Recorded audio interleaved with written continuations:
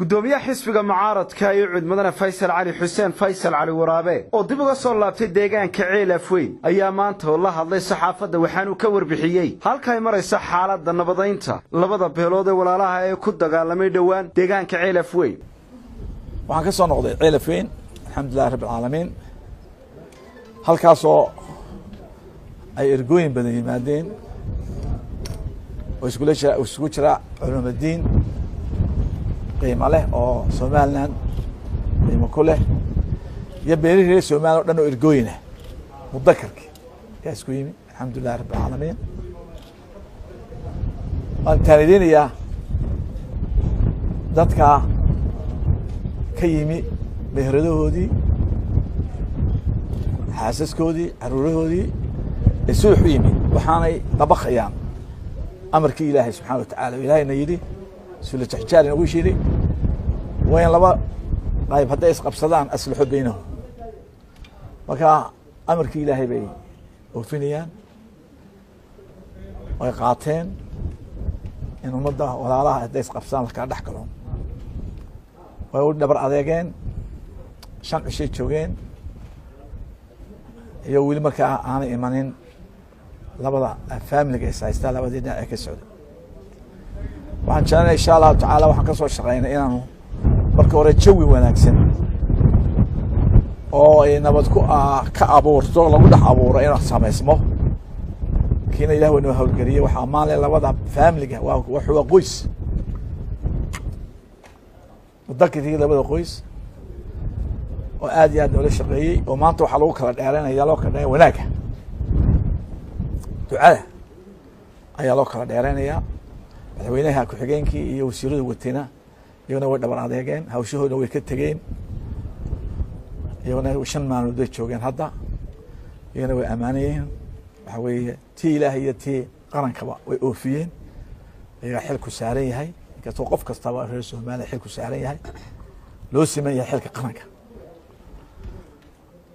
Halkan waxaan ka rajeynayaa ilaahna ka barya subxaana watacaala inay nabad waarta ka timaada aan nabarkana dusha laga salaaxinay waxaan waxaan dhalinaya geesta kalena mudane faysal cali waraabe guddoomiyaha xisbiga mucaaradka euci waxa uu tahaniyad iyo hambalyo u diray. Ra'iisul wasaaraha cusub ee dalka etoobiya isagoo ku ammaanay furfurnaanta uu muujiye dhanka siyaasadda afrika iyo geeska.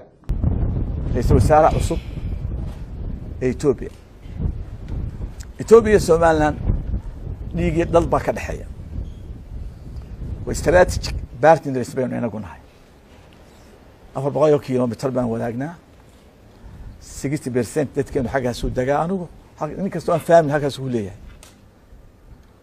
Waa iska qasbaysaa xamar. Xamar iyo kenyana waa isku qolo. Inaguna etoobiya iyo jabuuti kilanka shanaad iyo jabuuti iyo somalilan waa isku qolo. Isku dad baynu nahay. Kala garan maayo saddexda mafris waxaan jeclay inaan halkaas soonaha shanaadna soo xejinaa wanaagii iyo dhalashadii bridjkii wada dhisnaa waxaan jeclay inaan halkan ku casuulna insha allahu tacaala qarbi dhagax ay muqdisho dhiibtay. Waxaan caado u ahaan jirin soomaalida in cadow la isku dhiibo. Isna waa casuumina insha allahu tacala sidaan bilo rafi u casuunay sidaan aynu xalana u casuunay dad waxaan nahay walaala ah dadka iska xigaan nahay. Isna markaan soo noqonay insha allahu tacala program baan u samayn doonaa inaan u yeedhno ayahina ka talino soonaha shanaad soomaalinimaa lagu difaaci karaa qabiil laguma difaaci karo shantii soomaaliyeed way degan yihiin halkaas waxaan doonayna siyaasad midaysan oo soomaaliya oo soomaalinimo ah aynu sameyna doona muqdishona halkan baanu ka hagaajin doona insha allahu tacaala shanta dowlad ma soconayso shan qabiil ma soconayso oo wada carbit loo dhigaya ma soconayso dowlad midaysan oo decentralizer ayaanu ka caawin doona si u samaysan lahayn insha allah halkan baanu ka hagaajina somaliya waxay noqonaysa platformka soomaaliya shanta soomaaliya laga hagaajiyo. Halkan baa laga shanta soomaaliba looga heesi jiray.